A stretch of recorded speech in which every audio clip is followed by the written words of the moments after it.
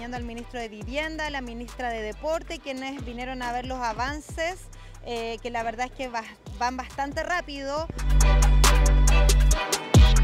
La propia alcaldesa me decía que le sorprendió lo rápido que esto de repente despegó porque es muy importante que se cumplan los plazos. Ese es un compromiso de Chile y un compromiso del gobierno del presidente Boric.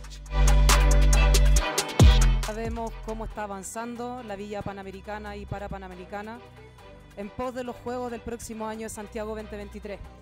Para el Ministerio del Deporte este es un, proyecto emblemático. Es muy importante porque es parte del legado de los Juegos de Santiago 2023.